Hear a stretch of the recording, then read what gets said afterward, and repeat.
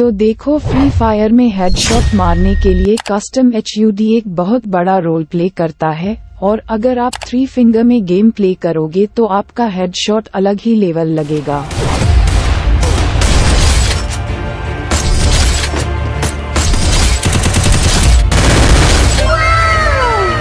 रुको रुको अगर आप एक टू फिंगर प्लेयर हो फिर भी यह वाला वीडियो देखो क्योंकि लास्ट में मैं आपको एक ऐसा कस्टम एचयूडी दिखाऊँगा जिस पर आप टू फिंगर के साथ साथ थ्री फिंगर भी खेल सकते हो।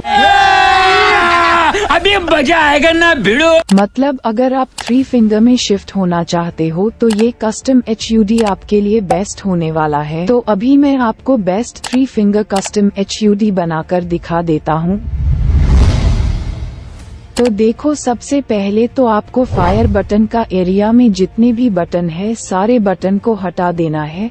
सिर्फ़ आपको इन दो चीज़ों को टच नहीं करना है। इनको टच करोगे तो आपका कस्टम एचयूडी बर्बाद हो जाएगा। और मैं इन बटन को कहाँ पर रख रहा हूँ और इनका साइज़ कितना रख रहा हूँ, अच्छे से देखना। आपको कस्टम एचयूडी बनाने में इजी होगा।